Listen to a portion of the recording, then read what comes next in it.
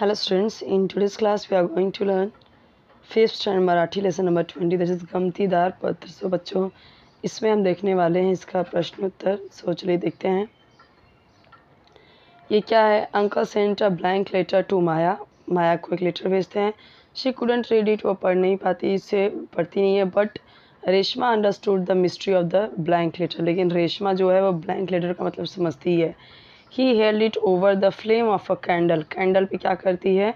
Candle के flame पे उससे थोड़ा सा सेकती है। The heat of the flame made the words appear on the blank page फिर उस पर वर्ड्स दिखते हैं अपीयर होते हैं, ठीक है? तो इसमें है। गमतीदार मतलब क्या होता है? मज़ेशीर फ़नी ओके एंटरटेनिंग अम्यूजिंग मज़ेदार। मजकूर का मतलब क्या होता है? रिटर्न मैटर ठीक है? लिखान जो लिखा हुआ है। आभार यानी थैंक्स धन्यवाद।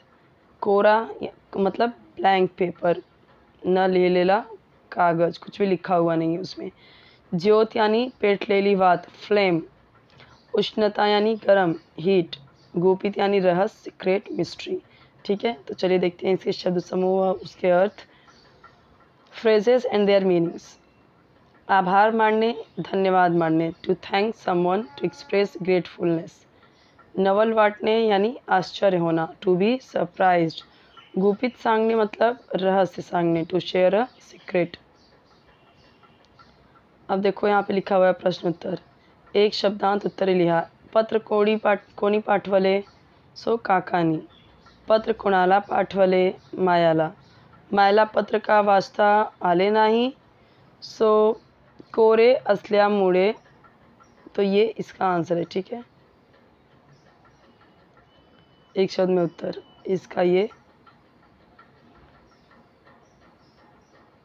ये सब इसके आंसर है। कौन थे सांगा?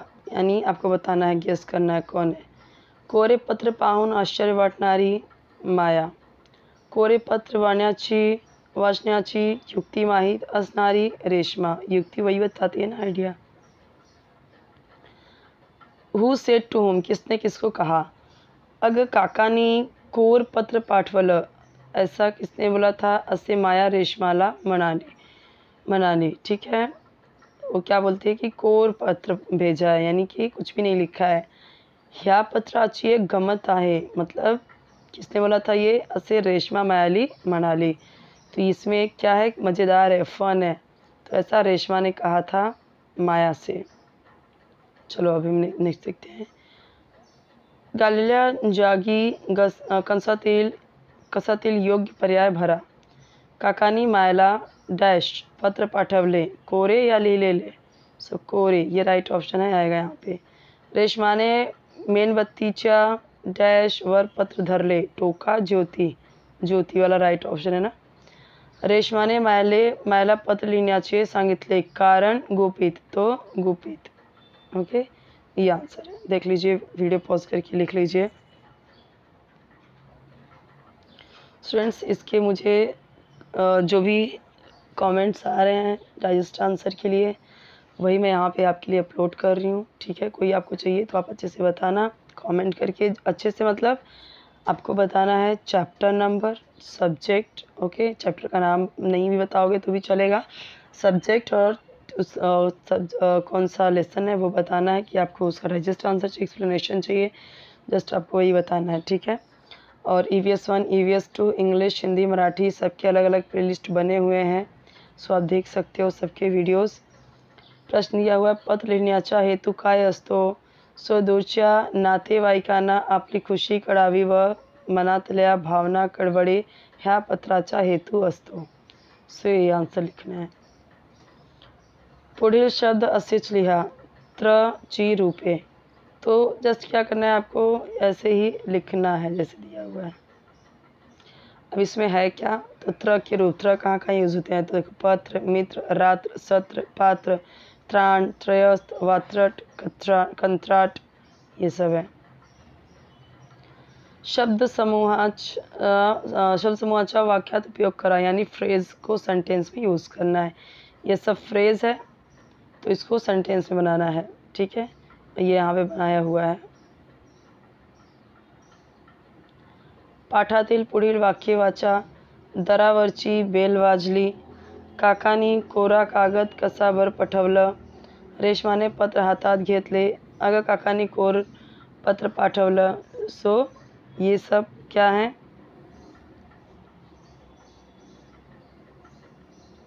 ये जो वाक्य आपको पढ़ना है, ठीक है? अब समझना है क्या ये सब जो पंक्चुएशन है, ये फुल स्टॉप है है ना?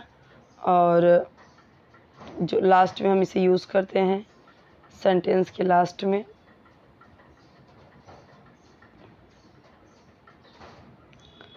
अब यहाँ पे देखो, ये क्या है?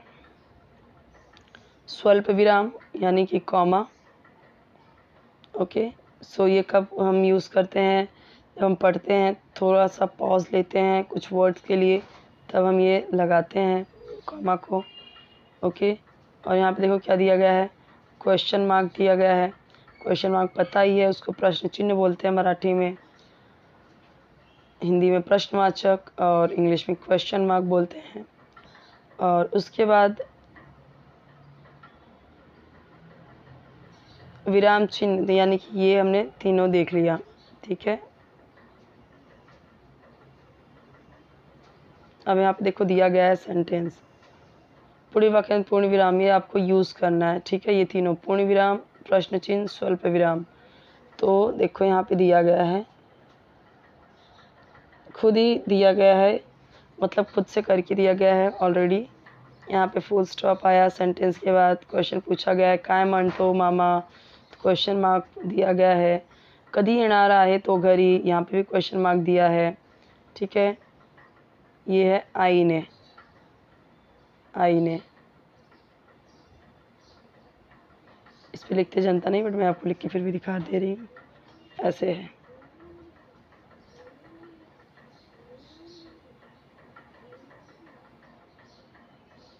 सारे सेंटेंस देख सकते हो। कोई डाउट रहे तो कमेंट सेक्शन में पूछिए। ओके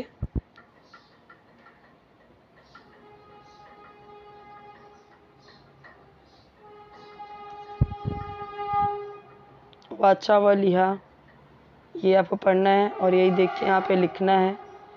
ओके सो यहाँ पे जितना था क्वेश्चन मैंने बता दिया। कोई डाउट है तो कमेंट सेक्शन ज़रूर पूछिए। चैनल सब्सक्राइब करना मत भूलिए। वीडियो को ज़रूर लाइक कर दीजिए। फ्रेंड्स साथ भी शेयर कीजिए ताकि उन्हें भी हेल्प मिले। ठीक है, वो भी देख पाएँ। और आपको कोई वीडियो चाहिए तो जस्ट आपको कॉमेंट करना है। ओके देख सकते हैं पूरा। वीडियो पॉज करके सब लिख सकते हैं। ये ग्रामर का पार्ट था थोड़ा सा।